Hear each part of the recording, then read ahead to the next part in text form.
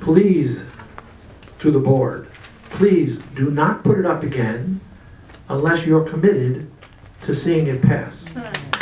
Rumors- none of those people are not interested in the applause.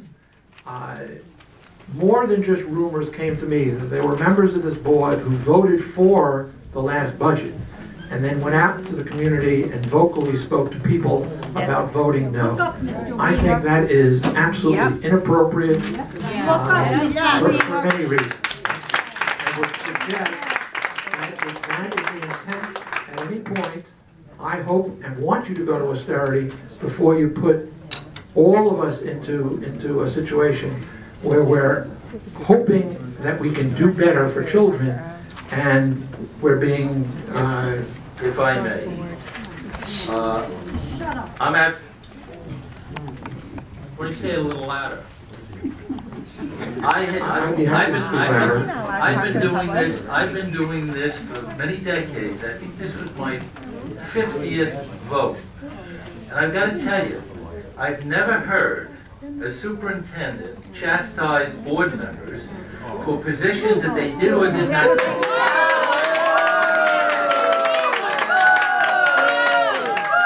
The commissioner's decisions. Why are you on the The commissioner's decisions are. Thank you. You're not a Ladies and gentlemen, and just like- Your, your, the commissioner's decisions I are I very think, clear. I think, I Mr. think, Dexter, you can continue in one second. At the end of the day, okay, Mr. D'Agostino is the board's attorney, and he has a right to weigh in on the issues. And on the other side, people in the audience have a right to feel or say what they want at the appropriate times. If we're gonna start our evening this way, in a very tough evening, we're never gonna end it, and we're gonna end up tonight really not coming to the very best consensus we can. So let's just move the evening on, Mr. D'Agostino, you can't continue, no noise from the audience, we'll go from there. Thank you. Mr. Rochelle, Excuse me, can I, can I, can I ask No, a question no, about how, no. how the board operates? Simple No, no, sir, I'm sorry. Fine. The commissioner's decisions are quite clear, that the, the, the superintendent recommends a board, a budget to the board, and the board puts it forth to the, to the public. The board, as a board, and board members in their official capacities, as well as the superintendent and all other official members of the, the uh, uh, official officers of the district, are precluded as a matter of law from taking positions. So I am going to tell you, in 50 budgets, that's the first time I've ever heard a superintendent. Welcome to East make us- Ramapo. Well, I do believe that East Ramapo is still part of the state of New York, and the law is Barely. quite clear. Barely. Barely. Okay. Now, let's get to the detail of the budget, because that's why we're here. Do you have a proposal for this board, or a discussion you wish to open? And before we do that, the policy of this district has always been that a winning candidate, uh, or a new candidate who's been elected to the position, sat up at the board, didn't participate in deliberations. So there is Mr. Freeman in the audience. Mr. Freeman, you're welcome to please come up here and, uh, sit up. Who here. is he? Oh, this is. First time at a board meeting, but he should be on the board. Okay, but it's the first time he's ever at a board meeting, and he should be on the board. First meeting. Okay, Never been here before. Dr. Whisper, keep Okay, whispering. Aaron. I'd be happy to continue. Mr. D'Agostino, I recognize that you may have 50 board uh, elections that you, Let's just get to the budget. Stop the rhetoric, please. I think I'm continuing where I was. Okay, okay. And I'd like to say that in, in, I don't have 50 elections under my belt, I probably have 40, at least I've been in education for 40 years.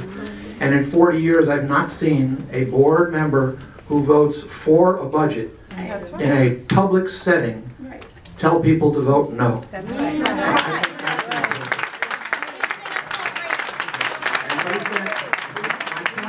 My point, my point is Gotta simple. stop, no. I'm gonna stop. I'm gonna can't stop. I promise. Gotta stop. I promise to.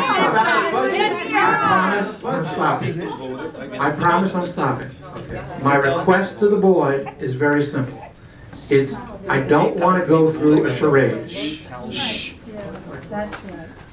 I don't want to go through a charade. If the board wants us to go to zero, and actually austerity is minus 0.4, I want the board to have the courage to say, that's where we think we need to be, and let's go there.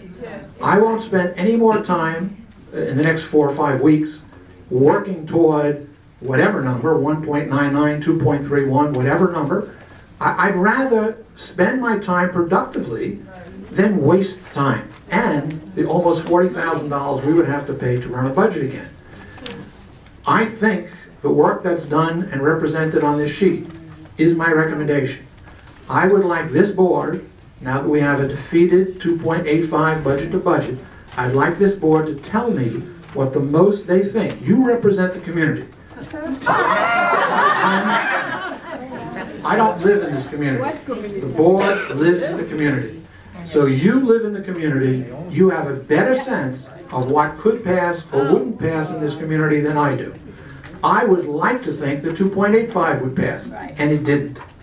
And that, you know, that, this is, this is where we're sitting and, and deciding, the community spoke, what was the intent of the community? They didn't want 285. Is it that they want 231, 1.99, minus 0.4? I mean, what does this community want? This is the community that you go home to and you put your head on your pillow with. I don't. I live in a neighboring community. I have a sense of it, but I don't know where. Me personally, I'd like you to give me, the children of this district, as much money in the budget as you think this community would support, but not, not less. That's what I'd like.